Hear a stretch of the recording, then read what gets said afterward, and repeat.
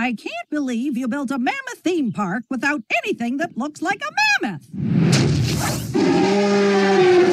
I'm waiting for an apology. I can't believe it. You walk away from a profitable miniature golf franchise and open up a spring water bottling plant right in the middle of town. What, did you think a mountain spring was just gonna fall out of the sky? You've never believed in me.